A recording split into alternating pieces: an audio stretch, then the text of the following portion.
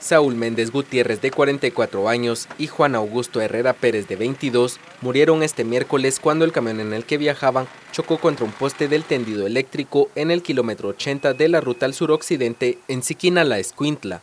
En el percance resultó herido Gregorio Hernández Zurdo de 50 años, quien fue trasladado en estado delicado a un hospital.